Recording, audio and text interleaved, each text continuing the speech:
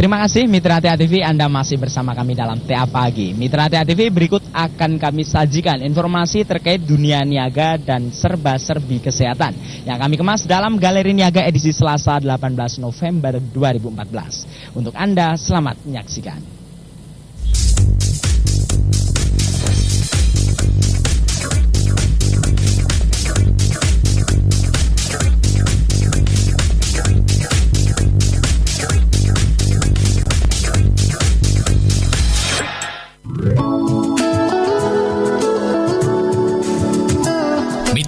TV saat ini cukup banyak penawaran investasi yang sangat menggiurkan yang tengah beredar di masyarakat. Maka berkaitan dengan hal tersebut, Otoritas Jasa Keuangan ataupun OJK menghimbau agar masyarakat lebih waspada terhadap penawaran investasi. Hal ini terkait pula dengan adanya 262 penawaran investasi yang bermasalah belum lama ini, di mana dari jumlah tersebut sebanyak 218 penawaran tidak memiliki kejelasan izin dari otoritas berwenang. Untuk di wilayah Surakarta, memang sejauh ini belum ada laporan dari masyarakat mengenai penawaran investasi yang bermasalah. Namun dihimbau agar masyarakat tetap waspada, serta jika ada hal yang tidak beres atau bermasalah, bisa langsung melapor kepada OJK mengenai investasi keuangan tersebut. Kita ingin himbau pada masyarakat untuk bisa uh, bersikap rasional, rasional, wajar saja wajar saja dan biasanya begitu-begitu bulan pertama dikasih bulan kedua dikasih mungkin juga sampai bulan ketiga dikasih bulan keempat bablas iya. bablas itu sama pokoknya gitu, oh, gitu. Agar tidak terjebak sebaiknya masyarakat memperhatikan beberapa hal, salah satunya yakni besar keuntungan yang dijanjikan. Patokannya di kisaran 2 hingga 3 persen dari nilai investasi. Jika lebih dari angka tersebut patut untuk diwaspadai, sebab di angka tersebut masih rasional untuk melakukan kegiatan bisnis dan berinvestasi.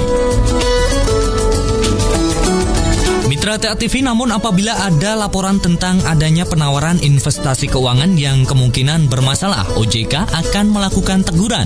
Di samping memerintahkan pengembalian dana, namun apabila masih memaksa, maka bukan tidak mungkin akan dibekukan. Di samping adanya upaya melalui jalur hukum. Nah, bagi Anda mitra TA TV, sebaiknya sebelum melakukan investasi, alangkah baiknya untuk memperhatikan kejelasannya terlebih dahulu. Dan tentunya harus tetap teliti dan selalu waspada sebelum berinvestasi.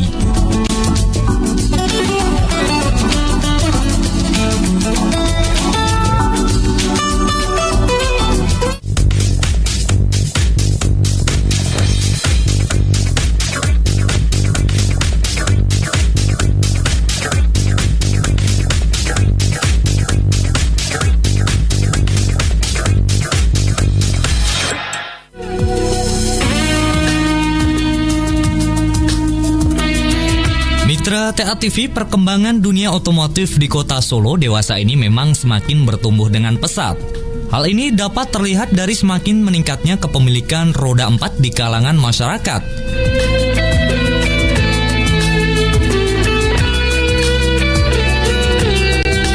Pesatnya pertumbuhan ini tentunya membawa dampak positif bagi bisnis otomotif. Tak hanya penjualan mobil baru maupun mobil bekas saja yang meningkat, namun rupanya ikut berdampak pada kursus mengemudi mobil sehingga membuat jasa kursus mengemudi makin moncer di kota Solo.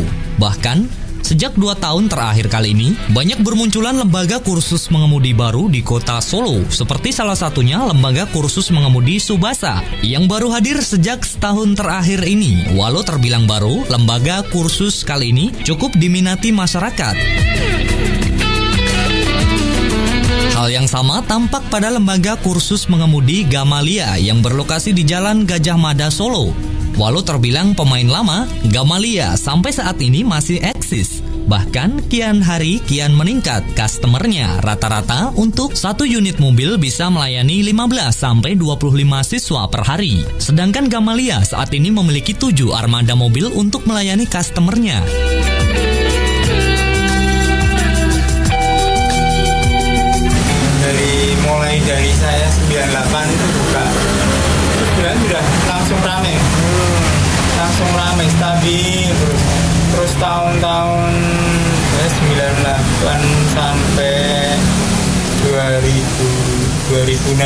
2000-an itu masih sendiri mas sama sama ini. Terus terus ada tahun sekitar 2004 2005 itu ada di sini tuh dulu ada Cakrawala ada Surya tapi sekarang udah tutup udah pada tutup. Terus lima tahun terakhir ini lah ini banyak. Hmm, itu dua tahunan terakhir Dua ini lah. tahun terakhir. Nah ini banyak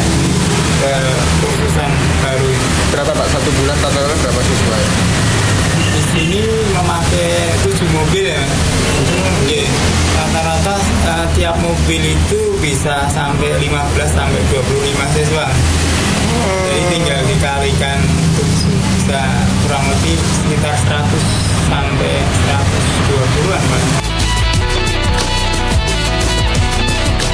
Untuk dapat mengikuti kursus mengemudi mobil, kali ini syaratnya cukup mudah, yakni harus sehat jasmani dan rohani, sudah berusia dewasa, dan harus bisa membaca dan menulis. Untuk biaya kursus sendiri terbilang murah, seperti di Gamalia, untuk 10 kali pertemuan, setiap pertemuannya berdurasi satu jam. Anda hanya merogoh kocek 370 ribu saja.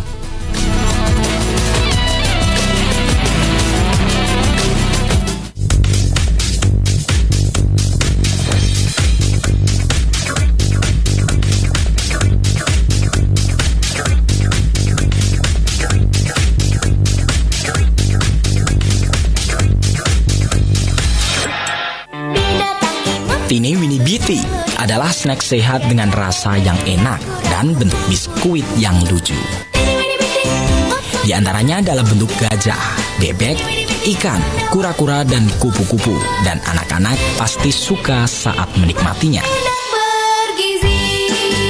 Ngomong-ngomong soal menikmati, kita lihat dulu yuk keseruan Happy Day with Tini Winnie Beauty di SD Kristen Widya Wacana Jam Saren yang kali ini dibantu oleh kakak Moko.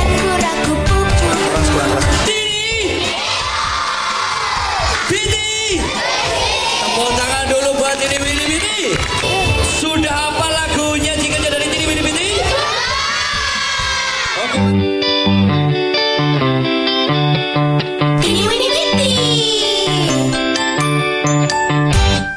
Happy Day with Tini Winnie Beauty di antaranya diisi dengan kegiatan lomba mewarnai untuk kelas 1 hingga kelas 3 SD dan untuk kelas 4 hingga kelas 6 mengikuti lomba jingle.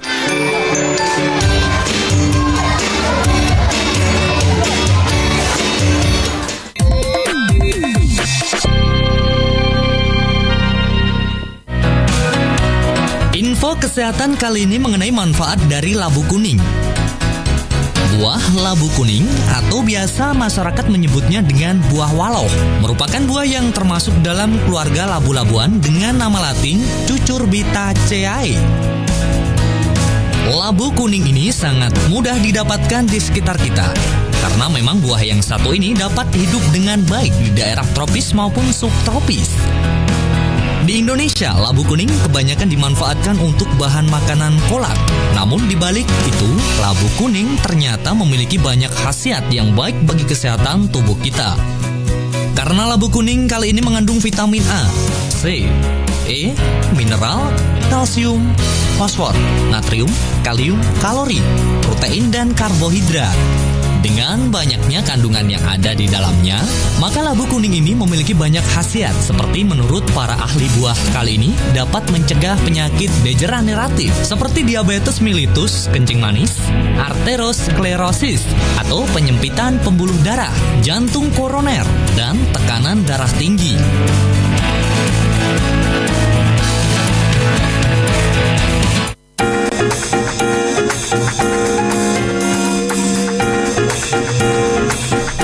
Mitra TA TV, sebuah kalimat bijak dari seorang kartunis sekaligus jurnalis asal Amerika, James Turber, mengakhiri perjumpaan kita hari ini.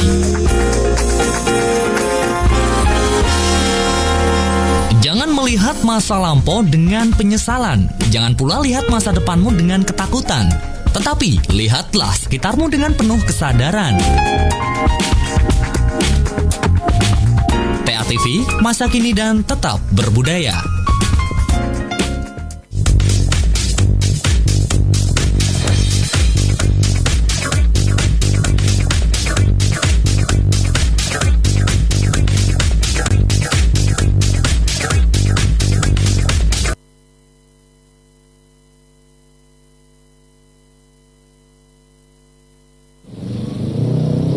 Mitra TV demikian tadi Galeri Niaga yang dapat kami sajikan untuk Anda di pagi hari ini.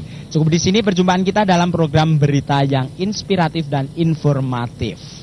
Anda juga dapat menyimak berita-berita yang kami tayangkan di portal berita kami di www.mantep.com dan jangan lupa untuk selalu mendengarkan 103,5 TA Radio Musik dan Informasi Terbaik. Mewakili segenap kru yang bertugas saya Hendrik pamit undur diri. Anda masih dapat menyaksikan TA Pagi besok pada pukul yang sama.